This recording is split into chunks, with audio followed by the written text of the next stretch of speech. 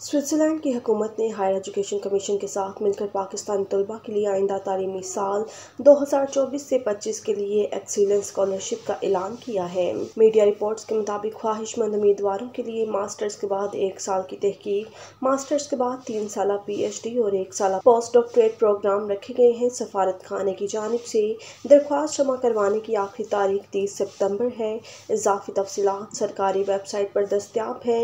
Swiss government excellence scholar scholarship का बुनियादी मकसद मास्टर या डॉक्टरेट की डिग्री मुकम्मल करने वाले गैर मुल्की रिसर्चर्स के लिए तालीमी मौका पैदा करना है। स्कॉलरशिप हासिल करने वालों का इंतखब federal commission for scholarships foreign students की निगरानी में किया जाएगा।